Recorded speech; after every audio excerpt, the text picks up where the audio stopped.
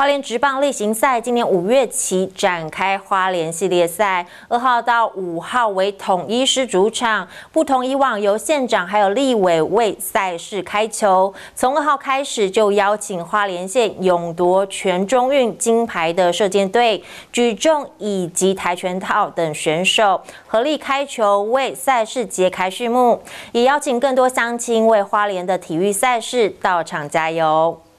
中华职棒例行赛今年自五月起展开花莲系列赛，二日首场赛事于德兴棒球场热血登场，由统一 Seven Eleven 师主场球队对上中信兄弟相队。有别往年由县长何立委为赛事开球，今年改邀请为花莲县勇夺全中运金牌的男子射箭代表队合力开球，为赛事揭开序幕。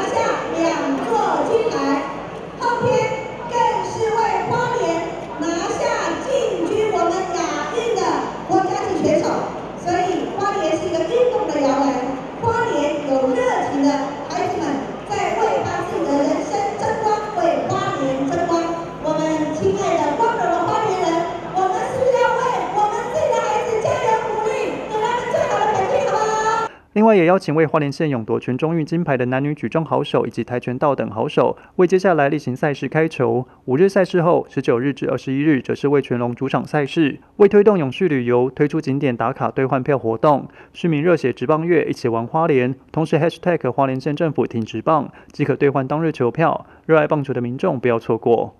记者蒋邦彦，花莲市报道。